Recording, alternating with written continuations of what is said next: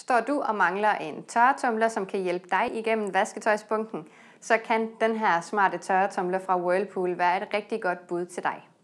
Du får faktisk mulighed for at tidsstyre øh, maskinens programmer, og her kan du altså selv vælge, hvor lang tid maskinen skal tørre de artikler, du har lagt i den.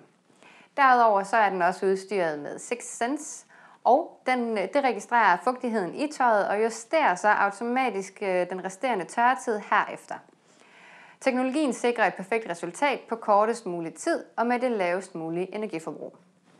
Den her model har nogle rigtig gode og anvendelige programmer, som er nemme at anvende i hverdagen. Du får blandt andet mulighed for at tørre større artikler som dyner, soveposer og overtøj, men du får faktisk ikke kun de gængse programmer.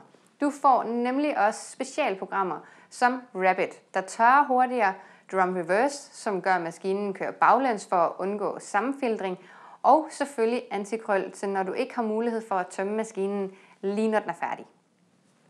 Udover det, så får du også et rigtig godt uldprogram. Det her program er skånsomt, der var efterladet blusen mere puffet og blød. Den er udstyret med en stor trumle i rustfri stål og medbringer i et buet og blødt, blødt design.